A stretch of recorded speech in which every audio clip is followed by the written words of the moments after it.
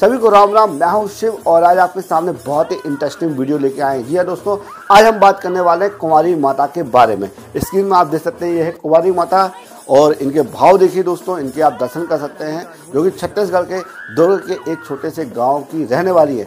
Actual में इनका नाम है बिनेश्वरी साहू।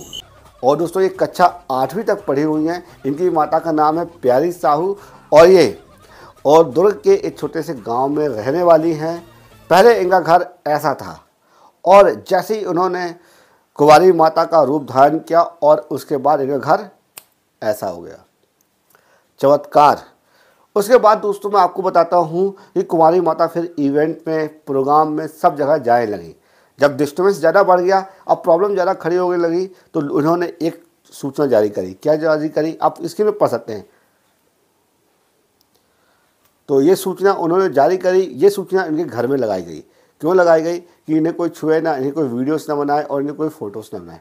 अब सबसे बड़ा सवाल ये उठता है दोस्तों, कि इनको जब चाहे माता जाती हैं, ये जब चाहे माता अपने अंदर बुला लेती हैं और फिर माता चली भी जाती है, समस्या का समाधान बताने के बाद। ऐसा पॉसिबल है क्या? बताइए, कमेंट बॉक्स में बताइए। आइए दोस्तों सुनते हैं एक वीडियो क्लिप जिसमें बागेश्वर धाम के ध्यन के शास्त्री जी माता रानी के बारे में बहुत अच्छा स्टेटमेंट उन्होंने दिया। आइए सुनिए। कोई दुर्गा दुर्गा माता किसी के शरीर पर नहीं आती है। कृपा होती है, आती नहीं। आ जाए, अब दुर्गा माता इतनी फ्री नहीं है। हाँ तो तुमने नींबू मारा और देवी माता प्रकरण कौन? मैं नौ दुर्गा माता। तुमने देवी, नींबू लगाया नहीं हो, तुम लिए त्रिशूलो घूम रही दुर्गा माता। और तुमने सांगी लिए घूम रही, तुम दुर्गा माता, ये प्रपंच है, प्रोपोगंडा है। ऐसे व्यर्थ के प्रोपोगंडे से सावधान रहना चाहिए भारत के लोगों को और हिंदुओं को सावधान रहना चाहिए। ऐसे प्रोपोगंडों को शीघ्र शीघ्र बंद कराने के लिए दृढ़ संकल्प लेना चाहिए। भोले भाले लोग आ जाते और गाँव के लोग भी बड़े अद्भुत, और तुम लोग भी बड़े पागल। तुरंत माता भभूति दे दो, बेटा की नौकरी लग जाए। सोई माता ले जा हो जाए इसलिए ऐसे प्रपंचों से बचना चाहिए। ये सिर्फ़ झूठ और फरेब है। कभी भी किसी के ऊपर भगवती आद्य शक्ति प्राम्बा दुर्गा माता, काली माता किसी के भी शरीर पर नहीं आती। दोस्तों, आपने सुना ढेन के शास्त्री जी ने क्या कहा कि माता रानी ऐसे किसी के शरीर में नहीं आती हैं। जी हाँ दोस्तों, आइए दोस्तों, अब आपके मन में विचार आ रहा होगा कि कुंवारी माता आखिर पैसे कमाती हैं तो कैसे कमाती हैं? इनके पास पैसे कैसे आता है? सबसे पहले बात मैं आपको बता दूँ कि ये इवेंट में जाती है प्रोग्राम्स में जाती हैं और लोगों से मिलती है तो उसके माध्यम से पैसा आता है। और एक और माध्यम इनके पास पैसा आने क्या माध्यम है? ये जोत, जो मंदिर में जोत जलाई जाती है, या फिर ये इनका जो भी स्थान होगा, यहाँ पर माता रानी के नाम से ये जोत जलवाती हैं। अगर जो भक्त दूर है तो वो फ़ोन पे, गूगल पे के माध्यम से और इनके दिए हुए नंबर के माध्यम से आप पे कर सकते हो, वहाँ पर जोत जल जाएगी। ये मैं नहीं कह रहा हूँ, माता रानी स्वयं कह रही है। आइए वीडियो क्लिप देखिए।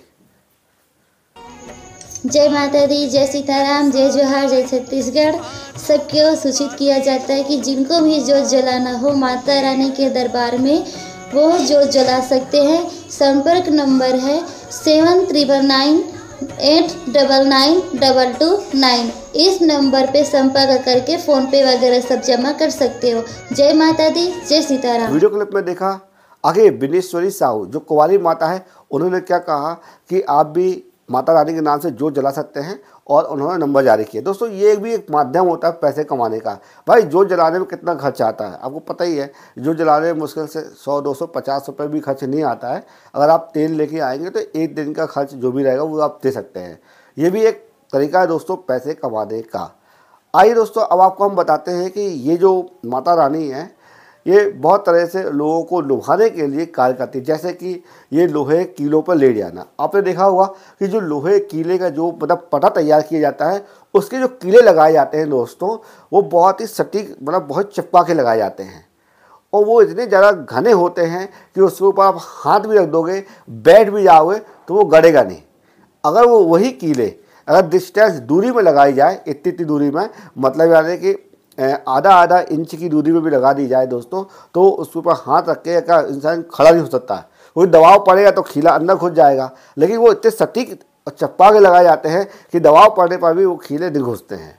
और माता रानी उसी के ऊपर पटे में लेट कर बैठ कर और झूला झूल कर लोगों को दिखाती हैं कि देखिए कि हम माता रानी हैं और हम कीलों को भी लेट सकते हैं। बहुत सारी चीज़ें होती हैं जो करते हैं, जो साइंस से संबंध रहता है। थोड़ा बहुत साइंस समझेंगे और साइंस को जानेंगे। जैसे कि मुँह में कपूर जला लेना, हाथों में कपूर जला लेना और भभूति निकाल लेना, ये सारी चीज़ें आजकल दोस्तों कॉमन हो गई है। क्योंकि साइंस के माध्यम से और ये सब किया जा सकता है। ऐसे ये कई बार प्रूव भी किया गया है। कुंवारी माता दोस्तों, इसी तरह का कार्य करके लोगों को लुभा रही हैं और ऐसे छत्तीसगढ़ में बहुत सारी माताएँ हो गई हैं, जो कि मतलब इस तरह के कार्य करती हैं और बोलते हैं कि हमको माता रानी के दर्शन हुए हैं, हम माता रानी के साक्षात दर्शन कर चुके हैं। पहली बात, आजकल दोस्तों ये बिज़नेस बन चुका है। लोग आते हैं, चढ़ावा चढ़ा के जाते हैं और चढ़ावा अच्छा मिलता है तो उनका व्यापार भी चलता है और साथ में धर्म का ये, इसी बहाने धर्म का प्रचार प्रसार भी कर रहा है। लेकिन दोस्तों, इससे हानि ये हो रही है कि लोगों का धर्म से विश्वास उठ रहा है। सबसे बड़ी बात यह है कि लोग अब धार्मिक चीज़ों को भी प्रपंच मानना शुरू कर दिए हैं। और ये हमारे लिए बहुत ही शर्म की बात है। अगर हम जितना ज़्यादा प्रपंच करेंगे, जितना ज़्यादा पखंड करेंगे, उतना ही सनातन धर्म की हानि होगी। सबसे बड़ी बात दोस्तों ये है कि भक्ति दिखावे की चीज़ नहीं है।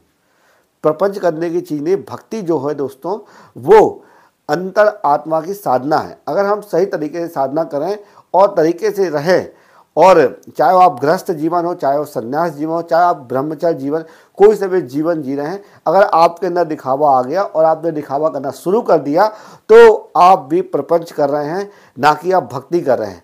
भक्ति का प्रपंच से कोई मतलब नहीं है। भक्ति एक ऐसी चीज़ है जो कि भक्त के पास ही रहती है और शांत अवस्था में रहती है, बिल्कुल भी शोर नहीं करती है। उस व्यक्ति का मकसद ये रहता है, ईश्वर को प्राप्त करना। इस तरह के प्रपंच करके हम किसी भी देवी देवताओं को प्राप्त नहीं कर सकते हैं, उनकी भक्ति प्राप्त नहीं कर सकते हैं। सिर्फ़ थोड़े से पैसे प्राप्त हो जाते हैं, उसके चक्कर में हम इस तरह के कार्य करते हैं।